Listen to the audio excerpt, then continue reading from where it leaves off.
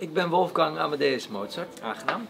Ik studeer eh, een beetje aan het Hof hier, een beetje compositieles en eh, wat instrumenten leren we bespelen, maar eigenlijk kan ik alles al wel. Er lopen wel wat leuke types aan het Hof hier rond. De keizer is wel een coole, coole, coole man. Mijn naam is keizer Jozef II.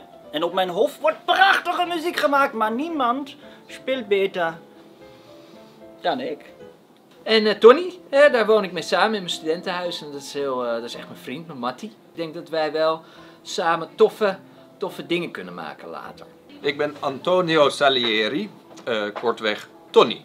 En eh, ik ben best wel goed, eh, alleen Wolfgang is wel iets beter.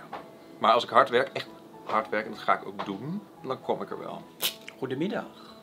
Ik ben Ma Salieri, de moeder van Tony, die heel erg goed zijn best zal moeten doen om overal de beste te zijn.